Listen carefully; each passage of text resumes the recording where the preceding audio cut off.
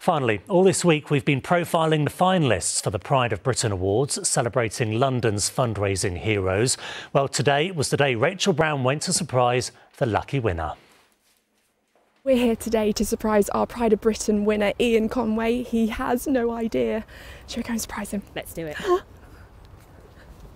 Hello! I may have told you a little white lie. and we're here today because you are our Pride of Britain winner. Oh, Yes! How are you feeling? oh, yeah. Cry. oh, sorry, sorry, Massive like, oh, congratulations. thank Let you me very give much. you Oh, the award. So deserved, Ian. oh, wow, not prepared for this. Oh. Not prepared at Lost all. for words. So, yeah, totally lost for words. But oh, that's it's for Louise and for Great Ormond Street.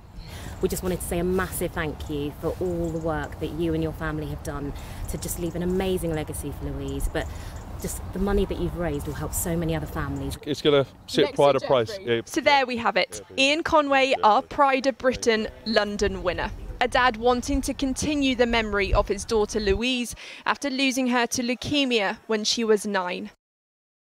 This little fella, Geoffrey the giraffe, was her soulmate, never leaving her side. After Louise died, Ian, with the help of friends, shared the idea of giraffes on tour. Asking people to buy their own Geoffrey the giraffe, taking him on adventures. The sky really is no limit, raising more than £15,000 for Great Ormond Street Hospital. kind of similar to why every single one of these people have um, done this is because it resonates with them. Our Pride of Britain judging panel for this year, including Olympian Desiree Henry, said Geoffrey the giraffe has captured people's imaginations.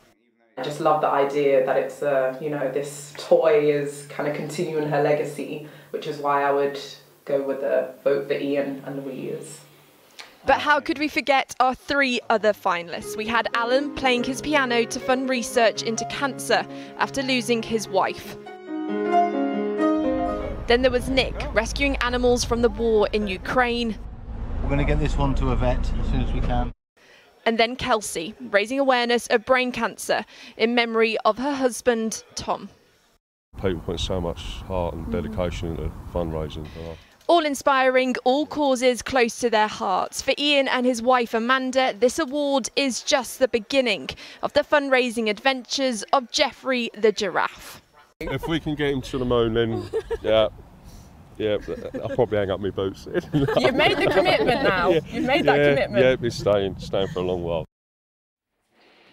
A brilliant winner in a week of fantastic finalists. Thank you very much.